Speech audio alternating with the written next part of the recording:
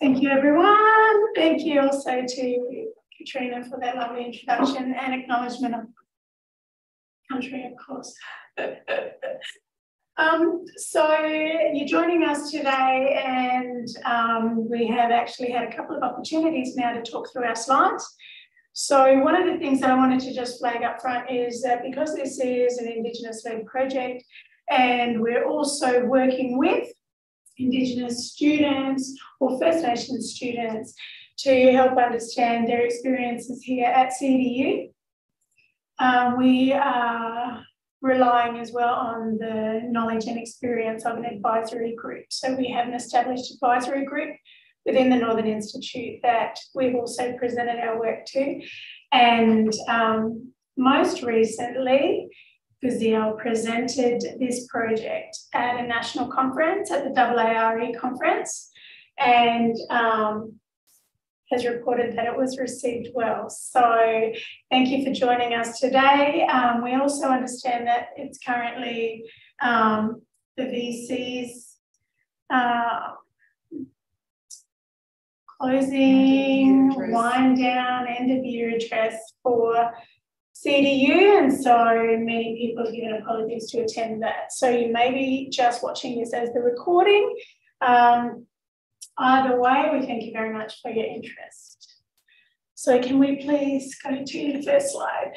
Yeah, so um, Katrina has done the acknowledgement of country for us, and I would also like to acknowledge um, the traditional lands that we're on today or that we're presenting from today.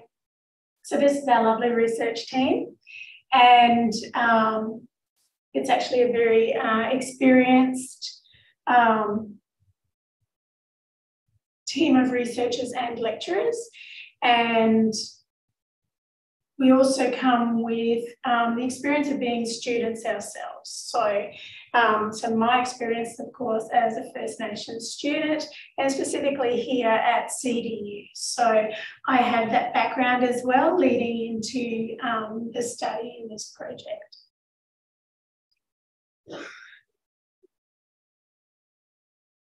So why this study? So this project is the first investigation of the engagement of undergraduate First Nations students in higher ed. Um, we're looking at appropriate and positive engagement of First Nations students in regional settings. So um, in an earlier literature review, we found that most of the investigations for engagement for First Nations student, students was actually carried out in southern states. So um, you know, some of the larger universities, New South Wales, Victoria, uh, South Australia, down that way was more um, likely where articles had been written and where research had been done. So we thought this was an ideal opportunity for us to have our voice and for us to um, investigate, um, explore, and then um, discuss what kind of experiences First Nations students have here at CDU. And the best bit about our project is that we're aiming to then deliver mutually informed uh, lessons for CDU staff and First Nations students about um, successful engagement. So those are the aims of our project. So talking specifically about experiences and not just students undertaking study, but going through to completion. Um, much of the research indicates that First Nations students are still most um, the group most likely thinking about leaving before completion of study, even if they've experienced a higher level of engagement. So there's something else happening there. And um, for us to explore whether that's actually the case here at CDU as well is um, an important addition to the knowledge in that space. So we're hoping to produce a good practice guide to assist lecturers and the institution to support our First Nations students to undertake and complete their studies. So this is the time frame. So we're hoping that we'll be finished by 2025. And we have um, quite a detailed plan of how we're going to go about that. So in this first um, year, not quite a year, we've implemented our, our survey for First Nations students. Our next step will be to actually speak to lecturers and professional staff that have been um, uh, proposed by those students as someone who has supported them and positively helped them engage with their studies here at CDU. Uh, we have a website that you can access to find out some more information if you would like to. On that website is a little bit more detail about who we are, our experience, and um, our authority in this space. And also uh, gives you a few more details about the advisory group who are working with us on the project as well. So the data snapshot. Now my colleague, Dr. Golebiowska, to say slowly, Kate, who's unfortunately unwell, um, has put together this initial uh, look at the data for us to um, discuss. I'm not going to do it as well as Kate, and hopefully, if you have any questions, she'll be able to answer those um, at a later date. But basically, we were looking at the age and gender split, so the number of male students differ less across age groups than among women. So it's mostly women who are studying, less men. Older male students represent one third share in each of the age groups because fewer older females study, which is interesting. So there's a difference between the level of engagement, but also the age at which men and women are accessing higher education. There's also a difference in students um, who are from accessing from remote or regional locations or major cities. So for CDU, mostly remote and regional students are accessing higher ed through CDU. So during our recent years, of course, COVID has impacted on people's engagement with higher education. And it looks as if COVID has actually benefited students and CDU in encouraging um, more students to be retained and complete. So the geography of aggregate retention and completion. So students who are retained and complete are mostly from the Northern Territory, Queensland, WA, New South Wales, so around the top part of Australia. So don't forget we're talking about at CDU. So students know what they want. So in aggregate terms, only 11% of all retained students during that time period changed courses, while 89% were retained in their originally chosen course. But we do have some course hoppers, so people who decide they start something and then, oh, you know, this really isn't for me.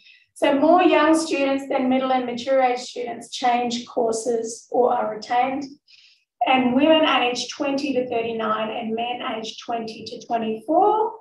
And then those aged 50 and over are most likely to change course. Um, yeah, so in uh, the first part of the project, as Tracy mentioned, was to undertake a quantitative, uh, to uh, collect some quantitative data. We used an online Qualtrics survey, and the plan was to um, understand the experiences of First Nations students uh, and uh, their experience with higher ed at CDU, to identify their needs and challenges, and also to identify ways that we could best um, or improve um, their experiences at CDU. So an invitation to participate in the survey was sent to 656 First Nations students who were enrolled at CDU in June 2022.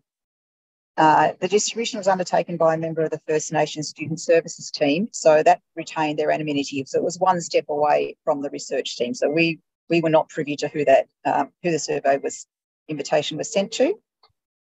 Uh, three reminder emails were also sent out to students uh, because part of the period the survey was out was over the uh, mid semester break. Um, so we sent out reminders through July and August, and we we got 82 initial respondents uh, who agreed to participate in the survey, which was about a 12.5% response rate. Thanks, Lani. So in terms of our responses, um, the majority of those responded were female. However, um, so 80% of the total respondents were female, but the it was only 10% of the distribution to women responded. So, whilst 20% of the distri- distribution to males responded. So, even though there's fewer males responding and fewer male students, there's a, the actual percentage of respondents was, was higher than women. Thanks, Lani. Uh, in terms of those uh, who responded by age, the majority of the respondents were in that 31 to 41 year age group. Um, however, Kate's CDU, uh, or the data, the CDU data that Kate has also analysed actually shows that the highest number of enrolled students are actually in that 20 to 30 age group, whereas we've got uh, greater respondents to the survey in that slightly older age group. Partly, possibly because they've been at CDU longer and have more more uh, more to say, or perhaps have more time to respond to, to surveys such as this. Thanks, Lani. Uh, so we we we got 74 total respondents uh, pretty much continual completing the, the survey, and most of those were living outside the Northern Territory. And of those that were living in the Northern Territory, by far the majority were in the Greater Darwin region. Uh, sometimes students, uh, for some of the responses from students in all questions, we needed to do some recoding because they may have misunderstood the question or actually answered the question but just in a different way. Uh, so from the recoding, again, we found that most lived in Queensland and New South Wales, uh, and more commonly, as suggested by the CDU data, in regional areas. Thanks, Lani. Uh, we also were interested to know if they'd actually undertaken any sort of pre-tertiary preparation program to find out, you know, whether that was uh, you know, a positive experience or help them with their experience. Um, but by far the majority, um, you know, nearly 75% did not actually complete a pre-tertiary preparation program. And of those, the majority of those that had, the majority had completed either a preparation for tertiary access or a TEP program at CDU.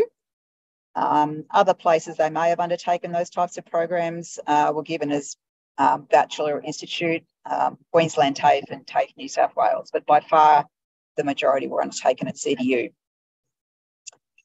And 61% of the 18 respondents who had identified um, the, they actually identified that it was actually a compulsory requirement to undertake their higher ed course that they actually completed the pre-tertiary education program, whereas seven respondents said they did it by choice.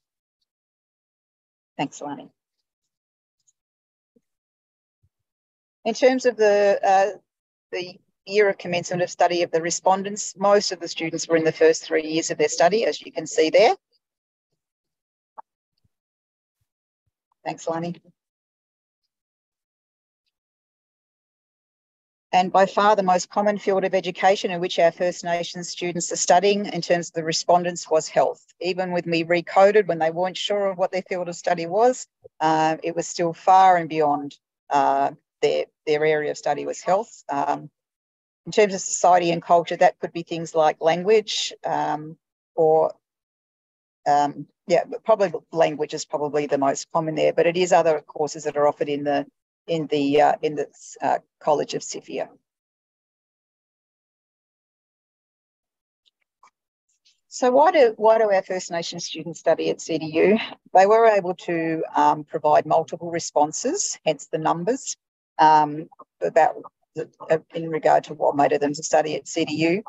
If we, we can actually group up some of these uh, responses into categories, and you know, the most uh, common reason was to be a role model for their family.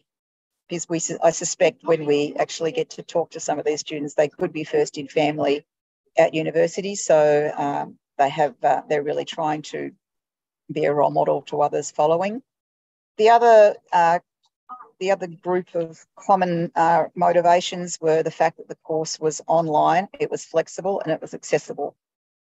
Doesn't surprise you, I guess, when there's large numbers of females um, undertaking courses that that is a positive option. And obviously, we were teaching through COVID as well. So the ability for them to access and still continue their studies would definitely have been important online. Uh, the other motivations were related to their job, whether it was going to get a job, whether it was to get an, a, an advancement in their job, or because they were supported in their job by their job to do it, was another reason for them undertaking study.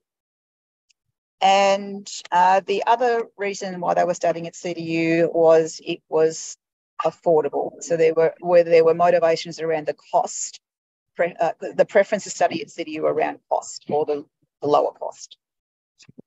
Thanks, Lani. We certainly understand that um, our First Nations students have many responsibilities um, beyond what the, beyond the, those of study. Um, and again, they were able to uh, identify multiple other responsibilities that they had. Uh, most commonly, work was one. So most of our students uh, are studying and working at the same time. And the other responsibilities were around family. Quite often, um, other members of extended family or, um, or children, and generally over five years old. So they're perhaps not choosing to study and or work when they've got very young children at home. But they certainly have other responsibilities that we need to consider are pressing on their time.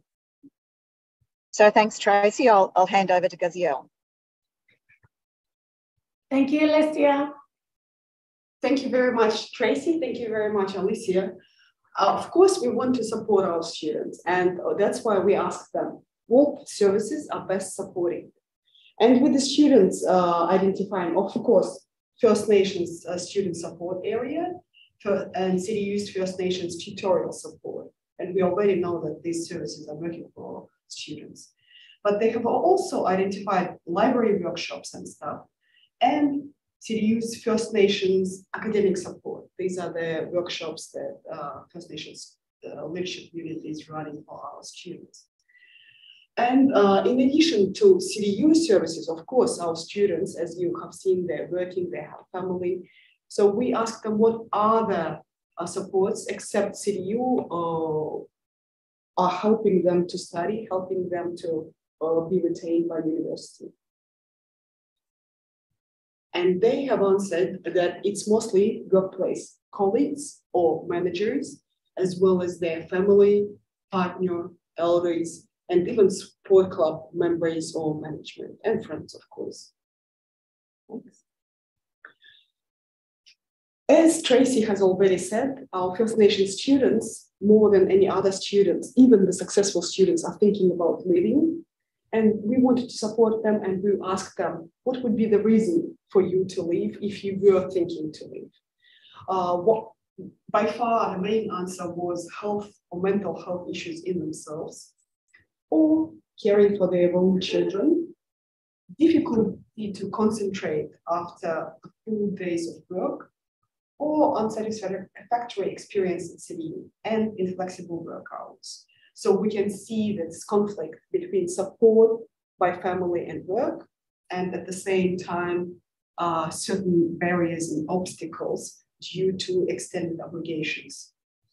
We have also, uh, uh, we want to keep the, as Tracy said, good practice going, and we want to prepare the good guides for all our students, uh, First Nation students studying at CDU to uh, uh, uh, to ensure cultural supportive environment.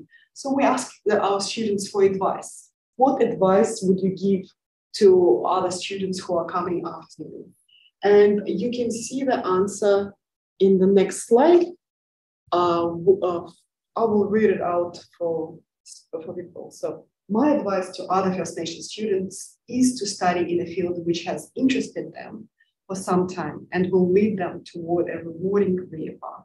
And as Tracy has presented already, 89% of them already knew what they are going to what field they're going into, and uh, some of them are already going for better job, better career uh, opportunities. Another response was, I think life is what you make it. And sure, it is hard, but sometimes you need to just get on with it. And uh, another one, obviously, from the nursing student, what got me through was being able to sit down with a fellow First Nations nurse and process, reconcile the differences in white healthcare and what was expected of me versus how I felt. Having a mentor in the workplace made all the difference. So we will continue this, uh, this study, this research, and our next step, as Tracy has said, uh, students identified top lecturers, top services that helped them through the study. So what we will do, we will interview those lecturers and we will in, uh, interview to First Nation student support and professional, uh, our professional staff.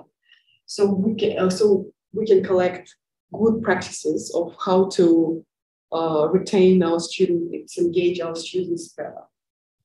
And just to recap our presentation, our work is a team uh, led by Tracy, who was First Nation student herself at CDU. And now she's uh, working on making this path, this journey easy, better, easier, uh, more accessible, and more enjoyable for many more students, First Nation students who are going to study at CDU.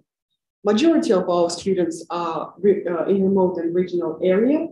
Majority of them are mature age students.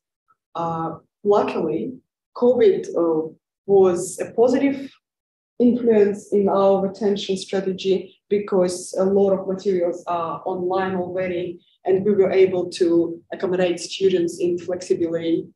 Um, that was fantastic to know that main motivation for our students is to be the role model.